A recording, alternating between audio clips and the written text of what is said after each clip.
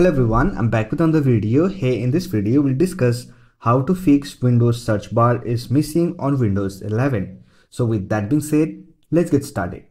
As you can see here, my Windows search bar is missing on my taskbar. So to fix it, first of all, try to restart your system.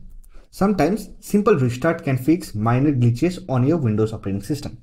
So to restart, click on start button, then click on power icon and click on restart and check whether the issue has been fixed or not. If you're still facing the issue, then simply try to restart your file explorer and Windows search. For that, right click on taskbar, open task manager, here click on navigation icon, click on processes and look for Windows Explorer. You can also use the search option. Here I have my Windows Explorer. Select it, right click on it, then click on restart.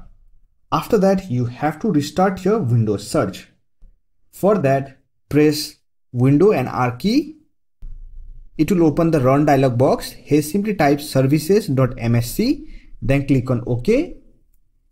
It will open services window. Here look for Windows search. So here is the Windows search service. Select it, right click on it, then click on restart and wait for the process to complete. After that, open settings. For that, right click on start button, then select settings, here click on personalization, then scroll down and look for taskbar option. And here we have the Windows search option. It is hidden, so from the drop down menu, simply select search box.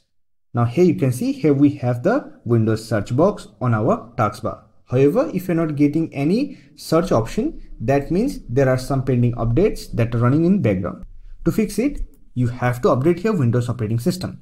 For that, click on Windows Update, then click on check for updates and install all the pending updates on your system. So that's it. This is how you can fix Windows search bar is missing on Windows 11.